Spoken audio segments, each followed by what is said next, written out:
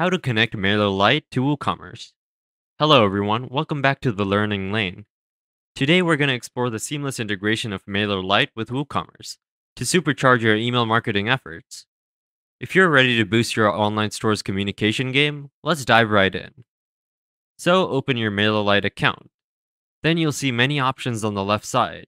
Scroll down and you'll see an option called Integration. Click on it. Then go down a little and you'll see an integration called WooCommerce. And on the right side, there's an option called Use. Click on the option.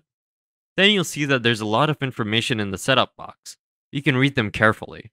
You'll then be taken directly to your WordPress dashboard. Then you'll see here there are many options on the left side.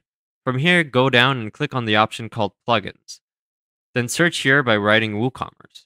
After searching, you can see here the extension named WooCommerce has come here. Click here directly. Then if you go down here, you'll see many articles that you can read. Anyway, here, click on the red button called Update and Activate. You can see that my new WordPress link is here. So I'm copying it. Then click on this button.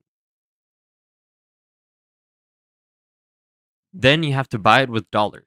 So here I select my country and write the postal code here. Then click on the Continue to Payment button. Then you can buy it here with your credit or debit card, or you can buy it through your PayPal account. So I don't have a bank and PayPal, so I can't buy it. You can use it in MailerLite when you buy it. If you found this tutorial helpful, don't forget to give it a thumbs up. Subscribe for more content and hit the notification bell to stay updated. Thanks for watching and happy selling.